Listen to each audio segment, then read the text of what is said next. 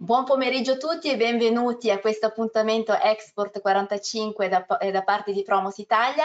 Io sono Simona De Musso e mi fa piacere oggi avere qui con me una serie di ospiti che a breve vi introdurrò. Oggi parleremo appunto eh, di questa tematica relativa al credito fornitore che è da intendere come leva commerciale proprio per aumentare il livello di competitività di posizioni sul, sui mercati esteri al fine di ampliare il proprio, il proprio business. Quindi tratteremo i temi relativi alle operazioni di credito con un focus sul Cile, che è un mercato sempre più attrattivo anche eh, grazie al trattato di libero eh, commercio con l'Unione Europea. Eh, interverranno Oliver Lunghini, eh, segretario generale della Camera di Commercio italiana in Cile, che mi fa piacere avere di nuovo sui nostri schermi, e Maurizio Rombolà e Alessandro Panico di Exetra, che ringrazio anticipatamente per la loro disponibilità e per aver lavorato sui contenuti del, dell'appuntamento odierno. Eh, giusto un rapido flash, un rapido panorama su chi siamo e cosa facciamo. Promos Italia è l'agenzia italiana per l'internazionalizzazione della struttura del sistema camerale italiano, partecipato da un network di camere di commercio italiane che vanno un po' da nord a sud, come vedete qua rappresentate nella mappa. Siamo in grado quindi di supportare le piccole e medie imprese nei propri processi di internazionalizzazione, grazie anche eh, al supporto di Union Camere Nazionali, Union Camere Lombardia Union Camera Emilia Romagna, quindi un, un, network molto ricco che è in costante evoluzione. Eh, noi ci muoviamo attraverso diverse diciamo, segmenti a partire da un primo livello di know-how, informazione, formazione, primo orientamento all'export eh, verso le imprese attraverso tutta una serie di strumenti. Adesso qua non abbiamo il tempo per approfondirli, però chiaramente se ci seguite sul nostro sito, sui social e attraverso la newsletter avrete a disposizione tutte le informazioni. La parte MECIT riguarda invece eh, l'approccio proprio one-to-one -one con operatori internazionali attraverso per esempio iniziative di outgoing, quindi quindi le missioni commerciali all'estero piuttosto che l'attività di in-buyer, quindi incoming di operatori eh, stranieri in Italia, suddivisi per settore, anche qua abbiamo un ricco calendario già eh, insomma, eh, attivo per l'anno corrente e poi la sezione digital che abbraccia tutti quelli che sono i servizi legati al digital export e a tale proposito già da qualche anno come Promos Italia abbiamo ehm, ideato questo progetto Digit Export che rientra poi nel, nel, PID, nel punto impresa digitale della Camera di Commercio di Milano, Monza, Brianza, Lodi, ma poi esteso ai nostri soci. Grazie a questo portale le aziende hanno a disposizione un set di servizi tra i quali ecco, vi metto in evidenza gli assessment digitali eh, che servono per avere un quadro, eh, una fotografia del posizionamento online delle aziende sempre in termini di export. Ci sono tre diverse tipologie eh, di, di, assessment in base agli strumenti che avete a disposizione. Adesso anche qui no, non entro eh, nel dettaglio del, di, di, questi strumenti. Eh, Digitexpert rientra sempre diciamo, nel, nella rosa di questi servizi digitali e qui invece mettiamo a disposizione eh, dei nostri eh, consulenti, dei nostri esperti in, ehm, su tematiche legate sempre al digital export, pertanto avete a disposizione 30 minuti di eh, incontri online con i nostri esperti richiedendo l'appuntamento attraverso l'apposita piattaforma andando a verificare le agende e gli slot disponibili. Ecco qua su questo progetto eh, chiedo eh, un supporto alla collega Valeria Centinaro. Ciao Valeria, grazie per averci raggiunti che sicuramente ve lo sarà, saprà raccontare meglio visto che insomma ne è la responsabile. Grazie Valeria. Uh, grazie Simona, buon pomeriggio a tutti.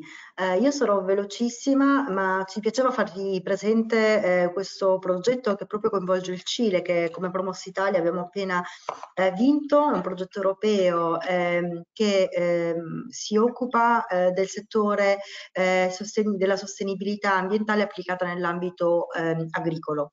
È un progetto che è stato, è stato, appena sviluppato, che è stato appena avviato, che durerà fino a dicembre del 2024, in cui sono previste una serie di attività per favorire gli scambi e le, non solo eh, commerciali, ma anche di buone prassi, di buone pratiche, di tecnologie, di know-how, proprio sul tema dell'economia circolare, quindi ehm, dell'economia dell circolare e della sostenibilità eh, applicata al settore eh, agricolo e specificatamente del settore frutticolo. L'obiettivo finale è quello di aiutare a, il settore frutticolo quello cileno a crescere, ma questo attraverso anche la collaborazione con le imprese italiane, quindi ci saranno sicuramente occasioni per parlarvene più nel dettaglio appena si entrerà nell'operatività, però ci faceva piacere eh, farvi eh, conoscere eh, questa opportunità di collaborare con il Cile anche attraverso un progetto europeo. Io ringrazio Simona, non voglio togliere tempo ai relatori che vi parleranno di questi temi di interesse, ma restiamo a disposizione eh, come team eh, di, ehm, che si occupa, con il mio team che si occupa di eh, fondi internazionali e di progettazione europea, alla mail che vedete euprojects, la promositalia.camcom.it. Grazie. Ottimo, grazie Valeria, grazie, ci sembrava appunto opportuno e eh, insomma, informare le aziende anche di questa opportunità, visto il focus sul, sul mercato. Ecco, questo giusto un, um, un, flash di quelli che sono i prossimi appuntamenti, l'agenda la, che poi è sempre in continua evoluzione, quindi anche qui consigliamo sempre di seguirci sul sito, poi riceverete comunque anche i vari link attraverso la mail di follow up e questi nostri contatti diretti. Ma adesso torniamo al nostro appuntamento, quindi a questo punto invito i nostri ospiti a riattivare la propria webcam e microfono. Eh, eccoci qua, Oliver Buongiorno, benvenuto e grazie e poi abbiamo già collegati anche Maurizio Romolà e Alessandro Panico che sono qua nello stesso riquadro. Grazie Alessandro, grazie Maurizio, grazie a tutti.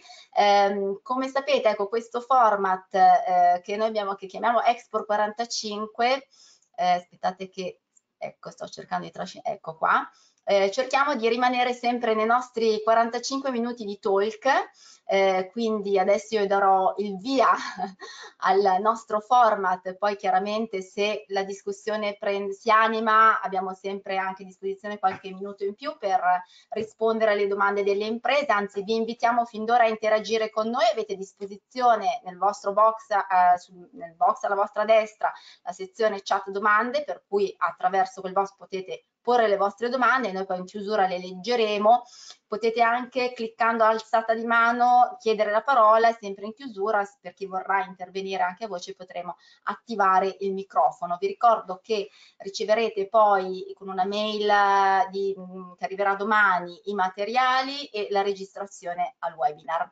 A questo punto io faccio partire i nostri 45 minuti e lascio la parola a Oliver Lunghini che ci aggiornerà un po' sul mercato cileno e ci dirà eh, un po' cosa, insomma, quali sono le opportunità in questo momento. Prego, Oliver, ti diamo la condivisione. Grazie Simona, buongiorno a tutti o buon pomeriggio a voi. Qua sono qua è mezzogiorno, quindi sono obbligato a dirvi buon pomeriggio. Non so se avete già modo di vedere la, la mia presentazione, se me lo confermate.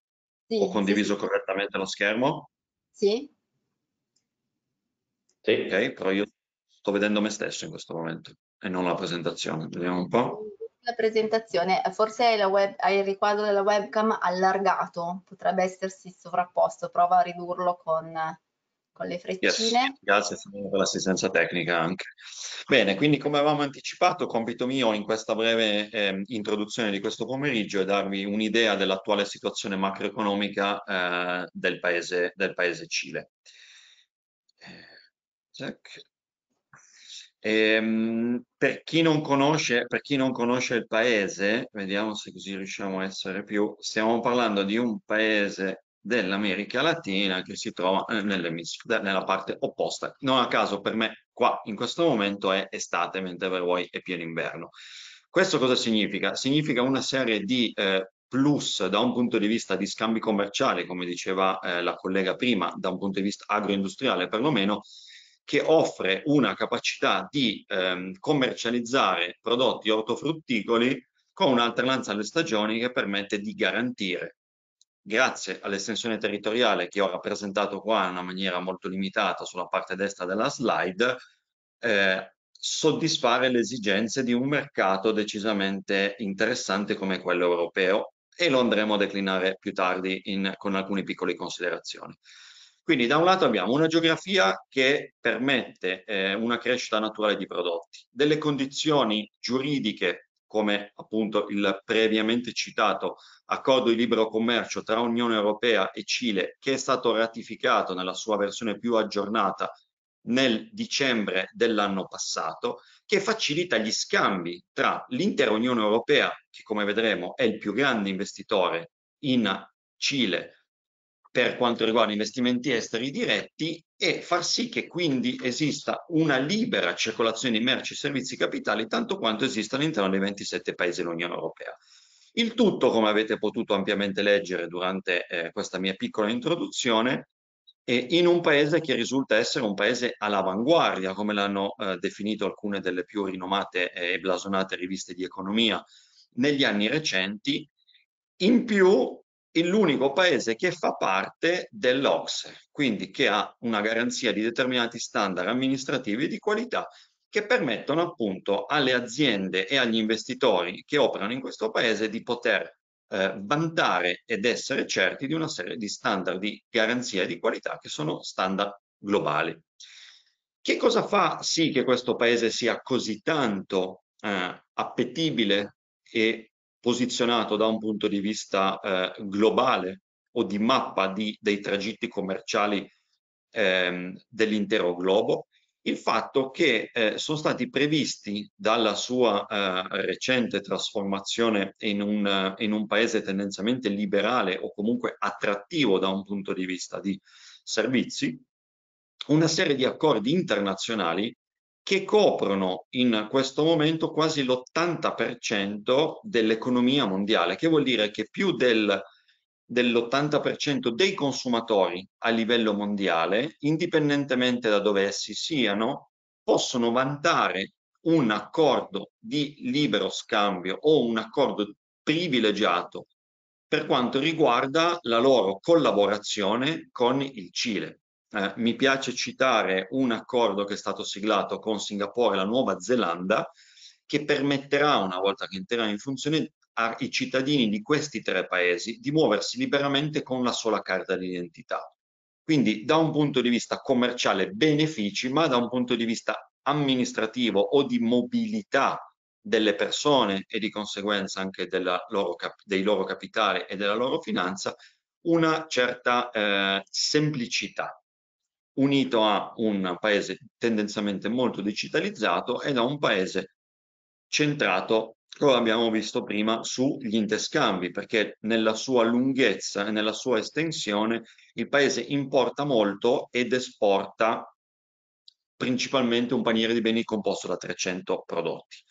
Ora, per scendere un pochettino più nel dettaglio e capire quali sono questi prodotti che vi stavo menzionando e chiudere un pochettino questa brevissima introduzione che avevo piacere di farvi del paese, iniziamo a vedere quelli che sono le esportazioni, questi 300 prodotti che il paese tendenzialmente esporta, perché non trasforma al suo interno o modifica leggermente. Cominciamo dalle materie prime, quindi dal litio e dal rame. Stiamo parlando del paese come prima e seconda dotazione in base alla materia prima che stiamo adottando di materiale estraibile nel proprio territorio, e quindi parliamo del, del, litio che oggigiorno è tendenzialmente di interesse di molte società che lavorano in ricerca e sviluppo e del rame, essendo il primo paese esportatore di rame al mondo, nel Cile è pochissimo il rame che viene trasformato, che vuol dire che la materia prima viene estratta, esportata, lavorata e riacquistata come prodotto finito.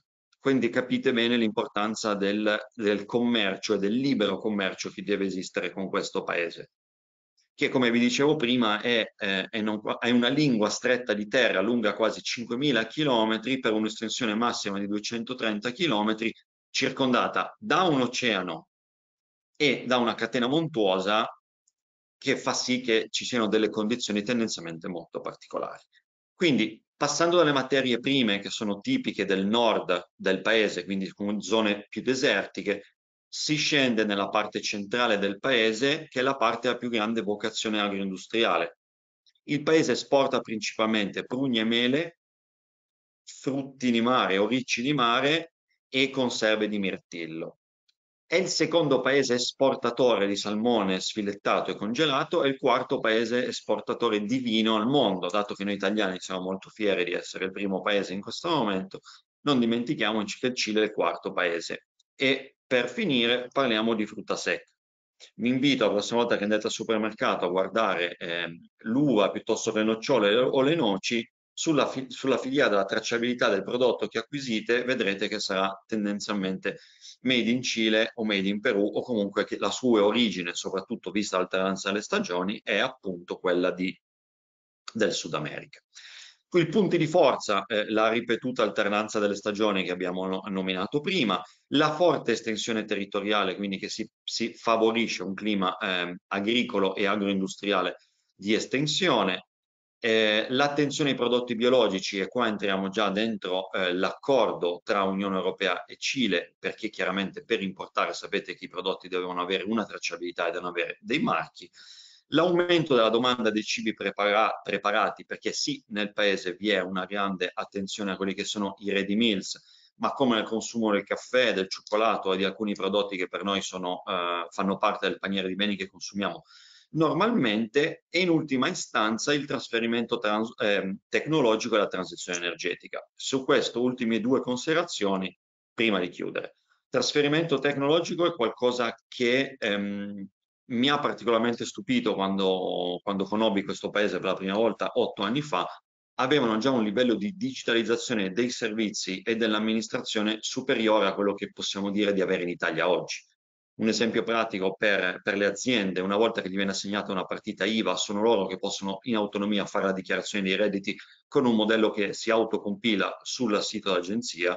Avere un'azienda e aprire un'azienda in Cile richiede un giorno, la transizione energetica, per passare all'ultimo punto, eh, è un grande eh, punto di forza di questo paese. Da un lato abbiamo dei programmi molto ambiziosi che vedono una descarbonizzazione in tappe prevista tra il 2030 e il 2050, presentata eh, alle Nazioni Unite.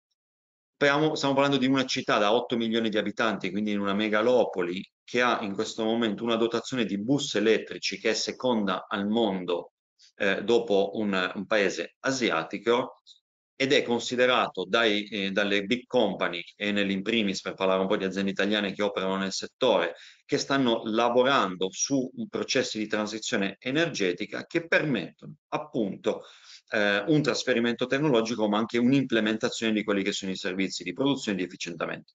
Tant'è che eh, in alcune parti eh, il paese è definito un laboratorio di energie rinnovabili, perché abbiamo impianti fotovoltaici che si, eh, sono stati implementati ed integrati con impianti ehm, di, ehm, geo di, geotermia eh, e con impianti eolici, quindi effettivamente un vero e proprio laboratorio. E, e, e, con questo io chiuderei la mia brevissima presentazione, anche perché abbiamo, come è stato ricordato prima, poco tempo eh, lascio in calce qualunque tipo di indicazione dalla website, dalle reti sociali affinché possiate eventualmente prendere spunti e considerazioni dalla nostra pagina web. Eh, non so se sono tornato in uh, full screen o abbandonato la presentazione. Non ti sento Simone? Sì, sì, grazie, grazie Oliver. Ad ogni modo ehm, i partecipanti riceveranno le slide, quindi i, i contatti, scusami, abbiamo, ehm, se vuoi ricondividiamo ancora un attimo la, la tua ultima slide. Non c'è problema, le lasciamo, le, se, le, se, le, invia a tutti i partecipanti è, è una slide in calce. Il concetto è che ci sono dei dettagli molto più organici all'interno della della nostra pagina web e noi siamo ovviamente a disposizione di delle aziende che sono interessate tramite Promos o tramite, tramite le altre attività e le aziende con cui vogliamo collaborare. L'intento era semplicemente offrire un assist eh, alla presentazione di Alessandro spiegando che c'è un clima economico tendenzialmente favorevole a far sì che le aziende di servizi, ma anche le aziende esportatrici dirette, possono eh, utilizzare e vedere Cile nel loro radar, ma soprattutto farlo con delle garanzie, degli strumenti di finanza agevolata che permettono all'azienda semplicemente di eh, realizzare magari una documentazione in più o affidarsi direttamente allo staff eh, di, di Excedra affinché queste attività vengano fatte ma usufruire dei benefici che un trattato di libero commercio avanzato come quello che è in vigore in questo momento tra Cile e Italia offre alle piccole e medie aziende italiane ed europee. Alessandro, non volevo entrare nella, nella, tua tematica perché potrei dire cose che non corrispondono, però E questo era un pochettino l'intento della, della nostra attività, quindi lascerei la parola a voi. Grazie Simona della disponibilità. Grazie, grazie a te. Adesso diamo anche ad Alessandra la possibilità di condividere lo schermo. Eh.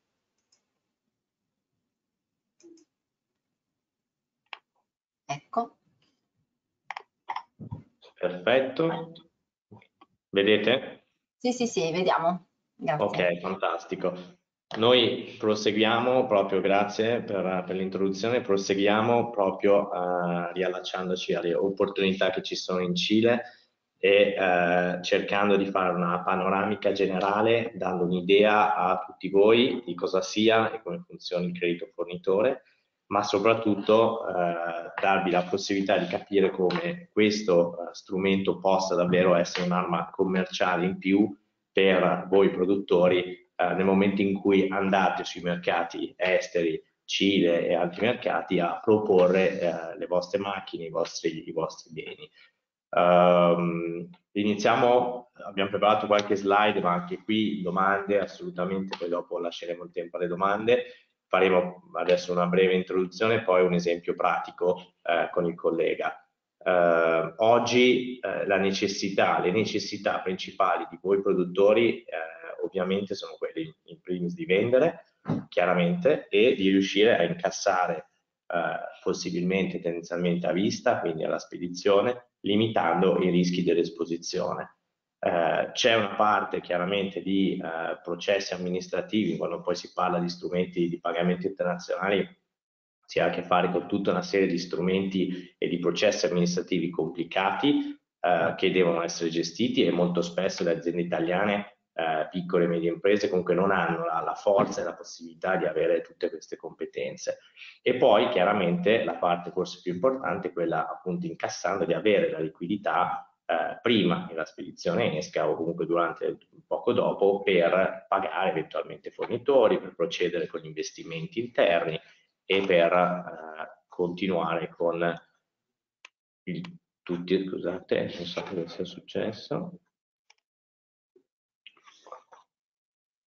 Ok, eccoci qua. No, aspetta, come si sposta questo? Bisogno di aiuto Alessandro? Non vedono slide? Ah, okay. No, no, è che non vediamo, non vediamo, però va benissimo, diciamo così. Dall'altra parte la necessità dell'acquirente è eh, chiaramente quella di ricevere la merce e quella, eh, se possibile, di eh, pagarla in, in, una direzione di pagamento che gli permetta eh, di ottenere la merce, ma di, poter, di non eh, es, eh, esporsi eh, in maniera troppo, troppo importante eh, subito.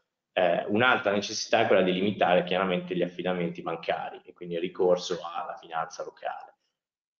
Oggi ci sono diversi mezzi che immagino voi già eh, utilizzate come, come, le lettere di credito, come il leasing, come il factoring.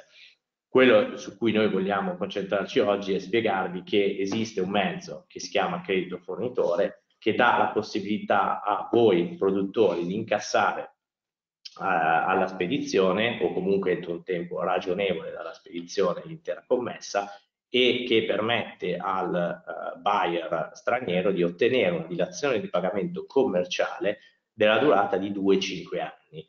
Uh, questo chiaramente gli permette di uh, far sì che nei prossimi 2-5 anni lui possa fare degli investimenti adesso anche di, di, di importi elevati e di dilazionarla nel tempo.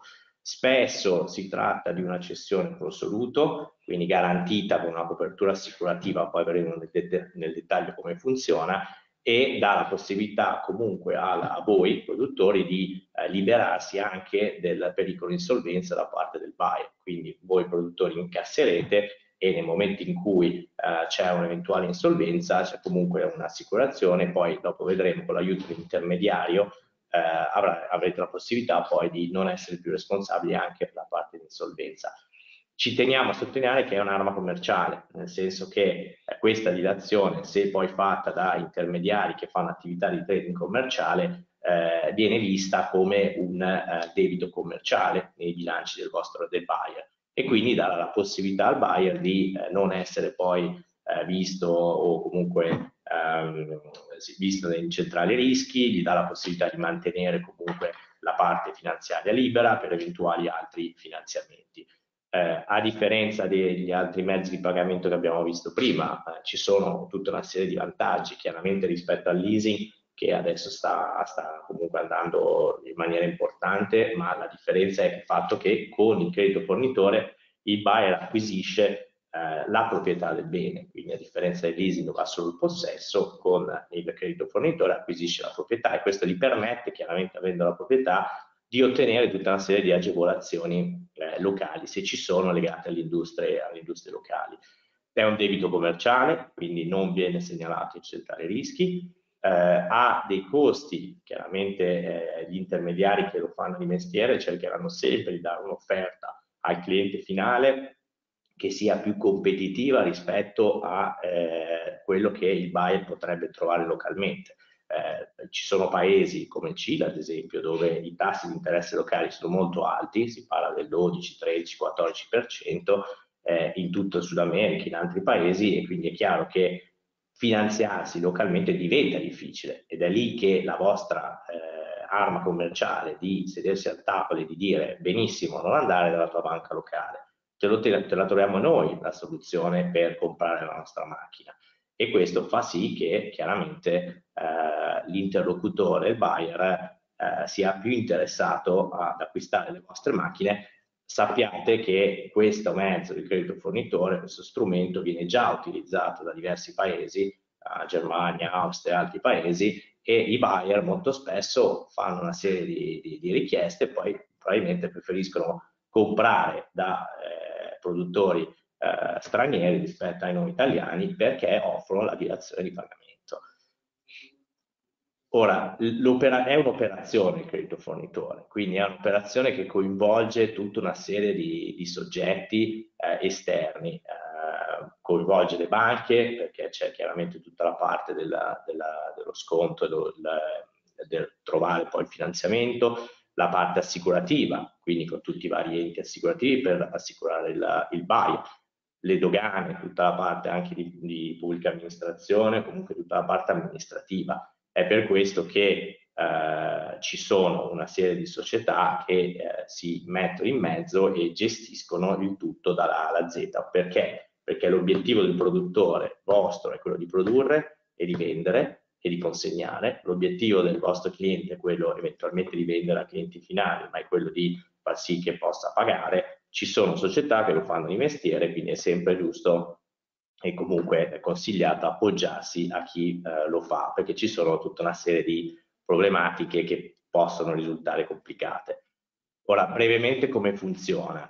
Eh, nel momento in cui voi produttori eh, chiudete un contratto di vendita con il buyer straniero o anche nella fase precedente, noi suggeriamo sempre al commerciale estero di sentire comunque prima già la fase e quindi di poter proporre la dilazione, eh, c'è un'offerta, eh, l'intermediario comunque chiederà, vengono chiesti i bilanci al buyer, eh, al buyer per capire la sostenibilità, nel momento in cui il buyer è sostenibile, quindi può essere coperto da assicurazione che verrà considerata sia sul rischio paese ma anche sul rischio buyer, a quel punto inizia la parte di uh,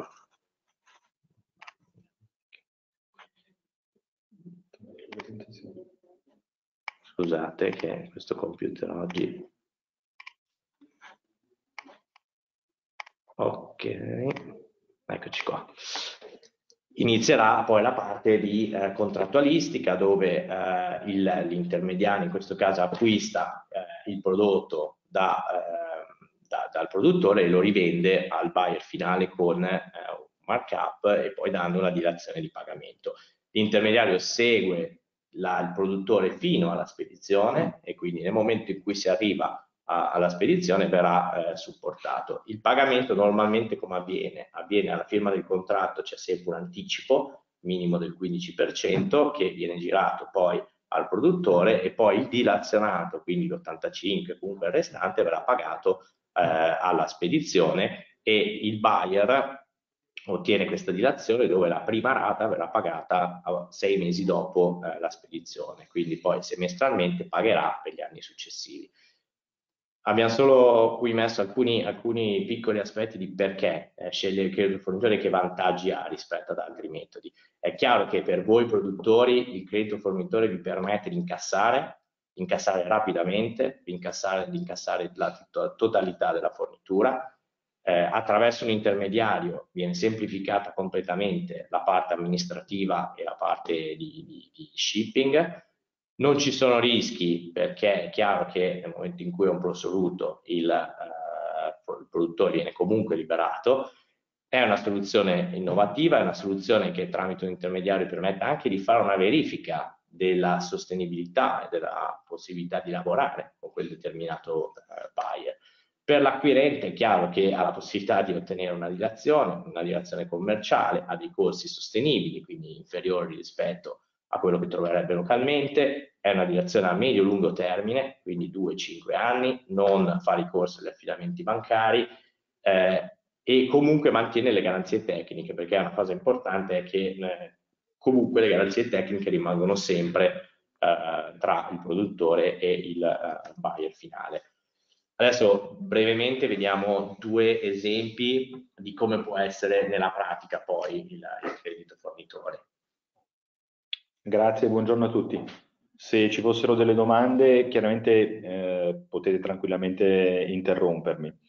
Eh, come diceva Alessandro, il credito fornitore è un'operazione che ha una certa complessità, è chiaramente un'operazione che si può strutturare un'autonomia, ma come avrete visto in una delle slide precedenti, le parti coinvolte sono diverse e a volte complesse, anche se vogliamo, da, da gestire.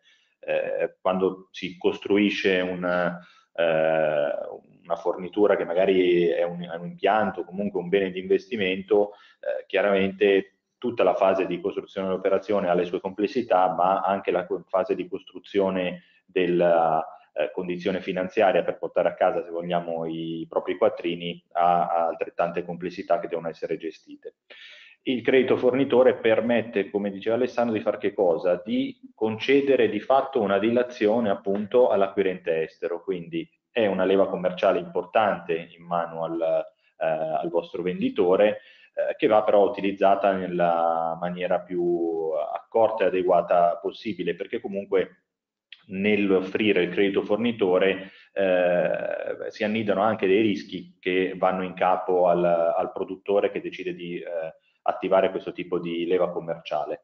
Ragione per cui eh, esistono appunto dei soggetti che fanno questo di mestiere, quindi non sono delle società finanziarie come possono essere delle leasing, ma sono a tutti gli effetti delle trading commerciali che assieme al produttore costruiscono eh, il credito fornitore. Quindi mantengono eh, a favore dell'acquirente estero la trasparenza rispetto a chi è il produttore, quindi non c'è un pericolo di disintermediazione della relazione tra il produttore e l'acquirente estero. L'acquirente estero avrà eh, tutti i vantaggi di avere la qualità del prodotto italiano, quindi le, tutte le garanzie passano dal produttore del bene all'acquirente estero e in aggiunta avrà un soggetto professionale che gestirà appunto la parte di costruzione dell'operazione e di realizzazione poi della dilazione di pagamento piuttosto che eh, dello smobilizzo e della gestione delle assicurazioni ove fossero eh, coinvolte.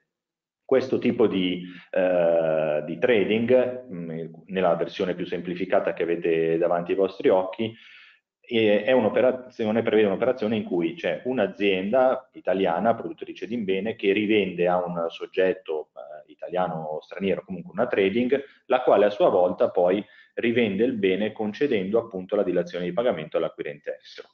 Quest'ultimo si trova quindi ad avere un unico interlocutore che gestisce la parte, se vogliamo, eh, economica dell'operazione e un unico interlocutore, il produttore, per quanto riguarda la parte eh, tecnica dell'operazione. Una eh, evoluzione di questo modello nei casi in cui eh, ci siano coinvolte più, eh, più aziende italiane, quindi eh, potrebbe essere anche un, un, paniere di aziende sia italiane che straniere, eh, va, se vogliamo, a mettere a leva il vantaggio di avere una, una trading in, uh, che intermedia l'operazione. Questo perché l'acquirente estero si troverà ad avere ancora di più un unico interlocutore che costruisce un'operazione di credito fornitore nei suoi confronti, quindi ottiene delle condizioni standard, se vogliamo, di dilazione di pagamento omogenee per tutti i produttori eh, che vengono coinvolti e invece eh, nella relazione produttore eh, verso la società di trading eh, queste, eh, questo contratto viene definito con ciascun produttore secondo gli accordi tra la trading e ciascun produttore, per cui ci potrà essere anche flessibilità rispetto alle esigenze dell'acquirente estero e le, chiaramente le esigenze del, dei produttori italiani che molto spesso vanno in, eh, in direzioni opposte. Questi sono due modelli, se vogliamo, base. Chiaramente poi le operazioni possono essere costruite, customizzate eh, di volta in volta, però di fatto è la, la massima semplificazione. Cosa ci dobbiamo portare a casa, se vogliamo, da questa, da, da questa chiacchierata? Esistono dei soggetti professionali sul mercato che fanno questo tipo di operazione. Eh, noi mh, nello specifico abbiamo fatto delle operazioni in Cile, si parlava prima del settore eh, agroalimentare e non a caso abbiamo commercializzato del, eh, dei macchinari per la raccolta delle nocciole. Ma non dobbiamo neanche eh, diciamo, limitarci al cosiddetto bene di investimento, quindi le dilazioni di pagamento che vengono concesse agli acquirenti stranieri eh, quando parlavamo prima di 2-5 anni, chiaramente se abbiamo dei macchinari che devono essere esportati, ma il credito fornitore può essere anche utilizzato per altre tipologie di prodotto. Cioè il modello è applicabile su qualsiasi tipo di prodotto, ovviamente ci sono regole e limitazioni a seconda della eh, tipologia e delle richieste dell'acquirente estero. Sicuramente il fatto che eh, il Cile faccia parte del, dell'Ocse è un ulteriore valore aggiunto perché semplifica eh, di molto tutti i processi che poi devono essere eseguiti quando si costruiscono dei crediti fornitori più articolati. Grazie per l'attenzione e rimaniamo a disposizione per delle domande chiaramente. Bene, grazie. Grazie anche perché siete rimasti perfettamente nelle, eh. nelle tempistiche, per cui abbiamo ancora 15 minuti abbondanti di, di tempo eh, che dedicheremo appunto ai nostri ospiti. Quindi invitiamo tutti a fare delle domande. Eh, approfittate di questo momento live no? che è preziosissimo perché intanto eh, cioè, comunque abbiamo degli ospiti che sicuramente eh, conoscono il mercato e conoscono il, il tema e, e quindi un'occasione unica. Eh, eventualmente non so, volevo chiedervi... Per eh, rompere il ghiaccio magari eh, volevo chiedere se qualcuno dei partecipanti ha già utilizzato il credito fornitore, come si è trovato, se ci fossero delle criticità che ha riscontrato.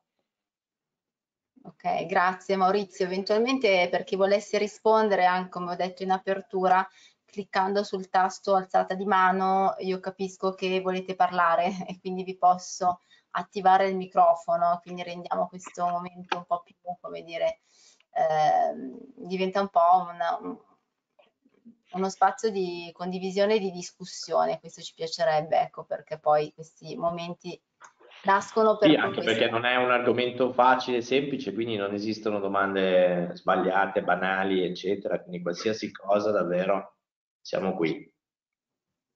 Certo, grazie, grazie Alessandro. Poi noi siamo, ci siamo sempre, per cui spesso ci scrivono anche dopo i webinar chiedendo eh. approfondimenti, però poi la live è sempre un'occasione preziosa. Eh, allora, le cose sono, o, sta, o, siete stati davvero molto molto esaustivi e quindi avete già risposto alle domande, o non lo so, o, o lasciamo spazio all'immaginazione. No? Sicuramente ehm, siete stati intanto sintetici e, ma esaustivi al tempo stesso, che era la cosa che, che volevamo. Eh, questi minuti abbiamo a disposizione, noi rimaniamo ancora un attimo collegati perché così intanto eh, magari se qualcuno, a qualcuno viene in mente una domanda, magari vi chiedo se potete farci anche qualche altro esempio, sempre vicino. No, magari, ecco, una cosa che ci siamo, ci siamo dimenticati e potrebbe essere interessante per i produttori che ci sono è il fatto che normalmente queste operazioni appunto gestite da, da intermediari per quanto riguarda il produttore italiano non hanno costi eh, da sostenere. Eh, il costo normalmente viene sostenuto dal buyer, quindi perché è lui che poi ottiene la direzione. Questo quindi può essere interessante per voi produttori saperlo e eh, comunque avendo eh, a mente che per voi non, è, non ha costi, usatela ancora di più come un'arma commerciale, eh, anche in trattativa eh, commerciale con il cliente, eh, in modo da pubblicizzarlo ancora di più. Ecco. Certo, grazie Alessandro per questa precisazione, sicuramente utile fare maggior chiarezza sulla tematica. Oliver, vuoi aggiungere qualcosa, qualche commento anche dopo aver sentito la presentazione di Alessandro e Maurizio? Eh, che dire, io sono stato particolarmente accelerato prima nella mia, nella mia presentazione, quindi avrei parecchie cose da dire. Cominciamo dal fatto che esiste un, un nutrito ecosistema basato sulle start-up qua in Cile. Stiamo parlando della seconda dotazione finanziaria al mondo dopo la Silicon Valley. Quindi chi magari non ha piacere di affrontare il rischio di impresa con, eh, magari con certi strumenti, con certe leve finanziarie, potrebbe pensare di eh, effettuare una, una, piccola operazione di stress test della, della propria idea in un ecosistema tendenzialmente globale, ma soprattutto aperto a, eh, a innovatori di tutto il mondo. Cioè, che dirti altro? Si potrebbero aprire varie, insomma, varie tematiche, io credo, se, se, se con Alessandro iniziamo a, a, buttare un tema, e non voglio parlare di nocciole perché è stato ampiamente esaustivo prima la considerazione, e stiamo parlando di, di aziende che hanno 18.000 ettari di terreno coltivati direttamente o indirettamente con, con questo prodotto. Guarda, su questo punto ti dico, l'operazione che noi abbiamo seguito in particolare era un'azienda italiana che ha aperto eh, una realtà di fatto locale in Cile per poi essere al traino di un nome noto, mettiamola così, del, eh, del settore che utilizza un certo quantitativo di nocciole eh, per la sua produzione e, e effettivamente eh, si sono sono partiti dal nulla, se vogliamo, perché hanno comprato un, un, piccolo appezzamento di terra e da lì hanno iniziato poi ad acquistare dei macchinari dall'Italia, chiaramente per eh, migliorare la, quello che facevano, la produzione, efficientarla, eccetera, eccetera. E hanno capito che alla fine era più conveniente utilizzare un credito di natura commerciale come appunto quello del credito all'esportazione piuttosto che andare in banca anche localmente anche perché come sempre quando tu attivi una nuova realtà diventa sempre un po' più difficile no? tenere pronti, pronti via degli affidamenti locali al di là di tutto. Eh, e quindi hanno sfruttato questa, questo strumento nella maniera, a mio avviso, più, più adeguata e più intelligente possibile. Ecco. Eh, molto spesso una cosa che vale la pena di, di ricordare quando si utilizza il credito fornitore eh, si utilizzano anche altri strumenti, se vogliamo, che lo Stato italiano mette a disposizione, no? per cui la, la, SACE con le polizze assicurative, eh, piuttosto che la Siemens con l'intervento eh, nel contributo in conto interessi, o, ovvero eh, altri strumenti che poi l'Italia ci mette a disposizione, o meglio mette a disposizione delle, sia delle piccole e medie imprese che delle grandi imprese italiane quando vogliono esportare in giro per il mondo e, e ci riescono molto bene. Guarda, in aggiunta ho avuto delle esperienze con delle aziende che hanno usato questi strumenti che stavi menzionando tu e, ehm, e hanno avuto la possibilità di ehm, far finanziare la loro partecipazione in alcune fiere, certo. oltre che ad aprire degli uffici di rappresentanza eh, temporanei nel, nel, paese di interesse e lì darsi con, o iniziare a rendersi conto che vi erano delle opportunità e vi è una semplicità, una volta che si è impostata una struttura, ad aprire quote di mercato in paesi che apparentemente sono lontani, perché io stesso lo vivo sulla mia pelle, ogni volta che rientro in Italia sono, se sono fortunato, 18 ore di aereo, con uno scalo diretto comunque in Europa, però di fatto che hanno un ecosistema, e abbiamo citato l'Ocse prima, che garantisce determinati standard che sono indiscutibili in qualunque parte del mondo, indipendentemente dalla lingua che parliamo. Quindi tante volte si tratta semplicemente di pianificare con un pochettino di lungimiranza magari proprie, le, i propri interventi o affidarsi a una realtà terza e delegare tutta quella gestione amministrativa che a noi sembra insormontabile, per invece conquistare nicchie di mercato, perché siamo bravi nella, in creatività, siamo bravi in innovazione. Oggi questo si, si, si traduce in trasferimento tecnologico, ma si traduce anche in senso pratico in know-how, che al momento gli strumenti digitali non ci hanno ancora tolto per quanto la realtà aumentata ci permetta di riparare un treno, ma l'expertise che abbiamo noi nella pianificazione di un'autostrada, e, e, lo vediamo con le varie società di costruzioni che operano nel mondo o che costruiscono ponti in Asia, autostrade negli Stati Uniti o Hyperloop negli Emirati Arabi, di fatto c'è una componentistica italiana in tutto questo, sempre e comunque. Quindi quello che dico alle aziende tante volte è di non vedere noi o comunque non, non vedere l'America Latina come un posto così lontano, ma di iniziare a rendersi conto che se esistono degli standard di qualità amministrativi esiste una ragione, che quindi questo paese ha bisogno, ha bisogno di tanta, eh, di tanta tecnologia, di tanta expertise straniera e quindi di utilizzare questa carenza di, di tecnologia e, e, utilizzare appunto questi strumenti per la commercializzazione e, e venire a scoprire un po' cosa c'è da quest'altra parte. Ecco. Sì, Grazie eh, Oliver. Mi, scusate, mi inserisco prego. perché c'è una domanda Buon pomeriggio, volevo chiedere quali sono i costi legati ad un'operazione di credito fornitore. Sì, allora i costi, eh, come anticipato prima, allora, per quanto riguarda il produttore italiano il costo eh, non c'è, nel senso che lui eh, una volta che ha definito il prezzo di vendita con il buyer, eh, la società, l'intermediario acquisterà al prezzo che lui ha concordato quindi a lui non ha, non ha costi. Chi sostiene i costi è il buyer e eh, i costi derivano da diversi fattori, in primis il costo assicurativo, quindi nel momento in cui si va a studiare il buyer, si trovano i bilanci, si guardano i bilanci, si chiede al mercato assicurativo una, una quota, eh, quello sarà uno dei costi che va valutato. Dopodiché c'è chiaramente tutta la, la struttura dell'operazione, quindi il costo del denaro, eh, che, che chiaramente in questo periodo non, non sta aiutando per nulla. Eh, e poi per eh, il credito fornitore per le dilazioni medio-lungo termine si applica un tasso che si chiama CIR che è fisso e che viene infatti tutti, deciso dall'Ocse, quindi tutti i paesi che fanno parte dell'Ocse ed è un tasso che varia ogni mese, eh, è pubblico, quindi quello è il tasso.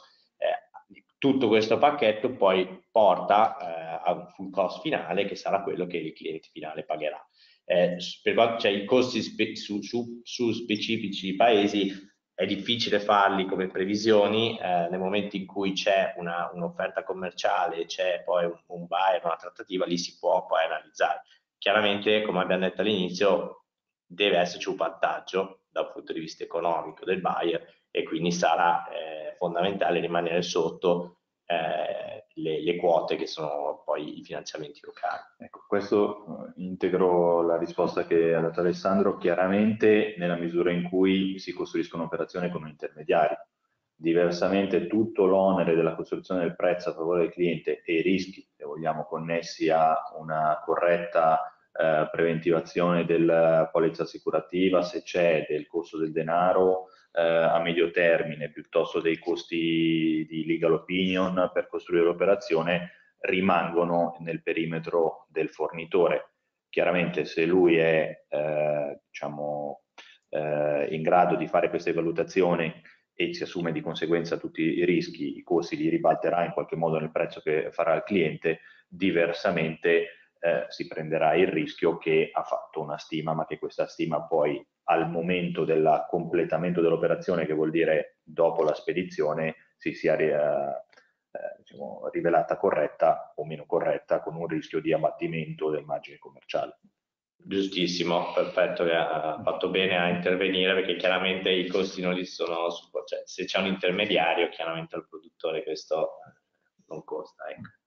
Ecco, bene, spero che la nostra, la persona che ha fatto la domanda, insomma, sia soddisfatta della risposta, immagino di sì. Eh, abbiamo ancora poco più di tre minuti a disposizione, io ne approfitto anche per ricordarvi i prossimi appuntamenti in calendario, in particolare avremo il 28 marzo qua sulla sede di Monza un'iniziativa in presenza, quindi vi aspettiamo qua, è rivolta alle aziende di Milano, Monza, Brianza e Lodi perché parleremo del bando connessi, in quanto ci sono ancora dei fondi disponibili su questo bando messo a disposizione appunto della Camera di Commercio Milano Monza Brianza Lodi e supporta proprio i processi di eh, digitalizzazione delle imprese, quindi molto interessante. Dopodiché avremo questo intervento sul Made in Italy e Oriente, qua avremo un, anche tra gli ospiti, tra gli speakers, comunque un importante vettore eh, ehm, che gestisce trasferimenti aerei, idem per quanto riguarda il 16 marzo, parleremo invece dell'altra